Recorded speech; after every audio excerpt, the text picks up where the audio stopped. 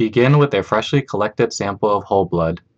The pink top is especially designed for blood banking and donor procedures. Lavender tops are also acceptable. Make sure you select the right size cup before centrifuging. To open, press the red button.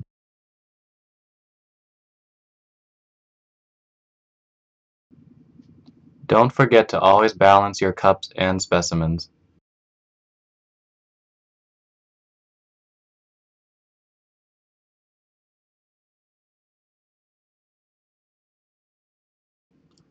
Weighted tubes are available if you only have one specimen to spin.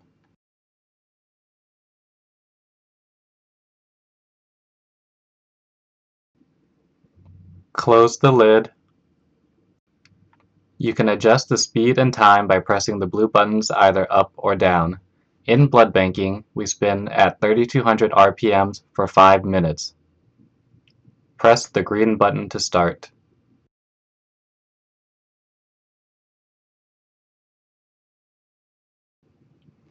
When complete, you should have two distinct layers. Unlike SST tubes, your sample could get remixed, so be careful when transporting. The most important step in all laboratory procedures is labeling. On all my tubes, I will write my initials, the patient's ID, and reagents added. Equipment and supplies are frequently shared, and this will eliminate any confusion. Most importantly, we are preventing the risk of any misdiagnosing.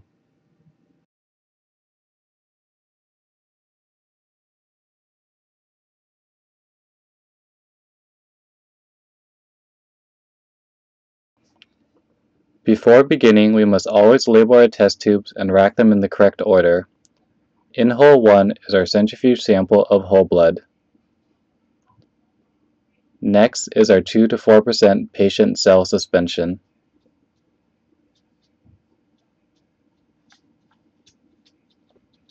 Anti-A.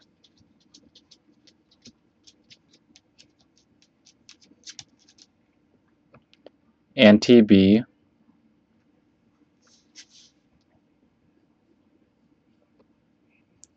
Anti-A, comma B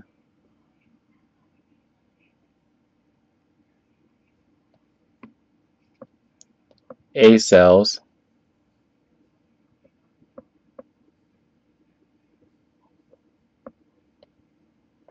B cells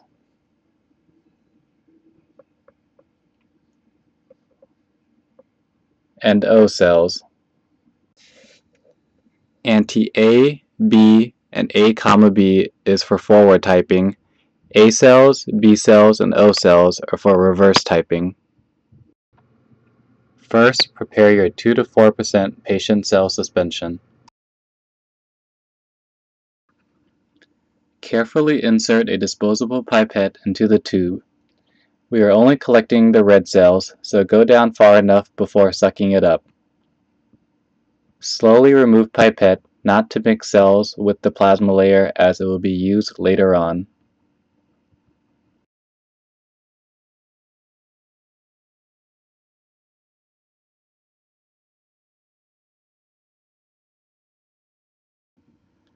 Squeeze saline into the test tube, making sure the tip does not touch any part of the vial or pipette.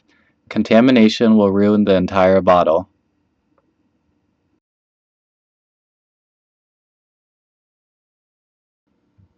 Mix the tubes simply by squeezing the pipette several times. To determine if you have correctly made the 2 to 4% suspension, you may compare it to one of the reagent cell bottles. The ratio must be correct or else it will cause a pro or post zone effect yielding false results.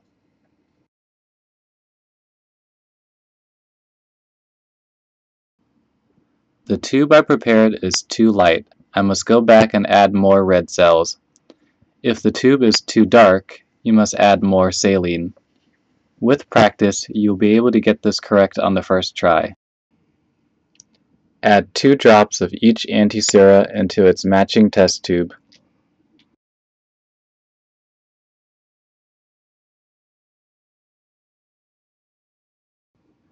Because there is a long time between use of the reagents, be sure to mix each bottle before dispensing it into your test tube.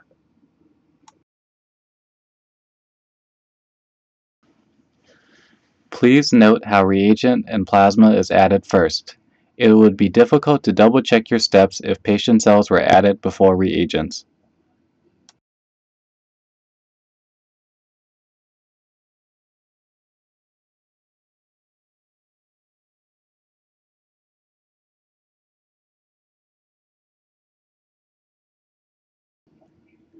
Using a disposable pipette, add 2 drops of patient plasma into tubes AC, BC, and OC.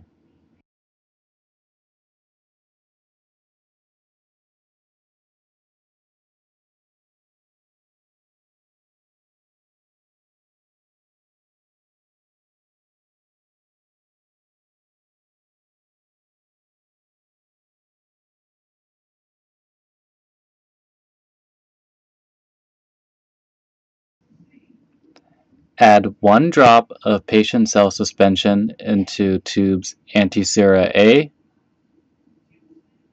antisera B, and antisera A, comma B.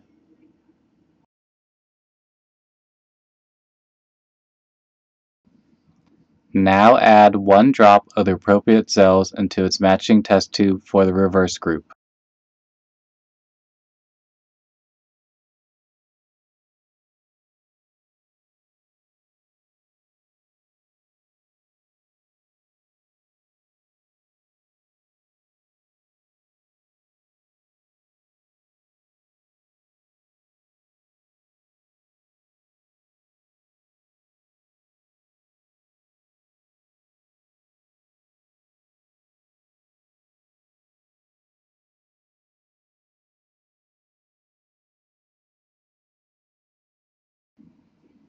Gently mix all the tubes.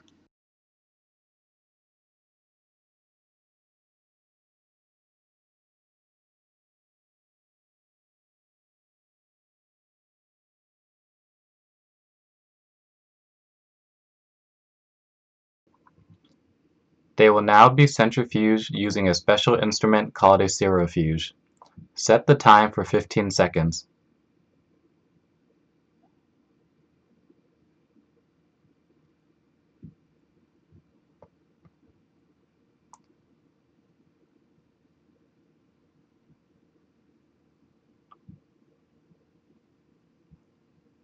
Load your tubes, again making sure it is balanced.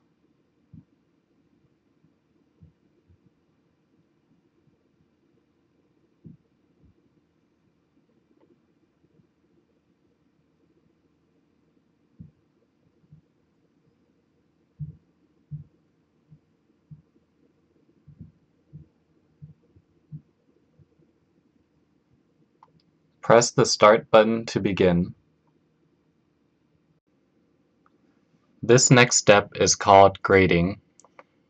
Read each tube one at a time and record results as you view them. You will need an agglutination viewer to do so. All the tubes will have a visible cell button after centrifuging. Only look at the magnified image in the mirror. Gently flicker and shake the tube until all of the cell button is no longer stuck to the glass. If agglutination is still visible, the reaction is considered positive. Repeat this step with all your test tubes. Observe only one at a time and record your results immediately.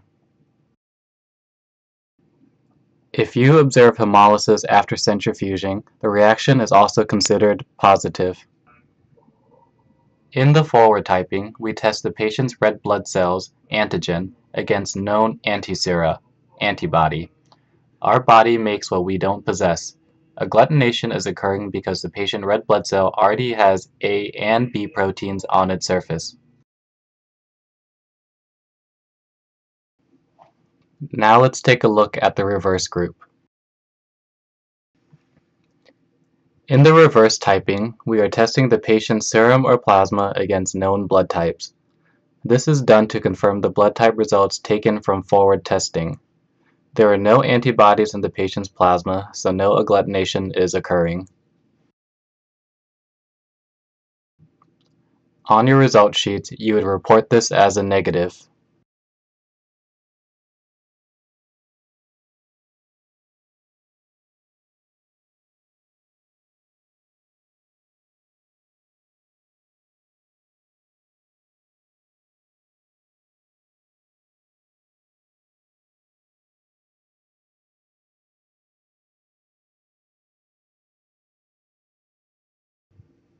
All results with reverse typing were negative. All results with forward typing was positive. This confirms that my patient is A, B blood type. Refer to this chart to determine what blood type your patient has.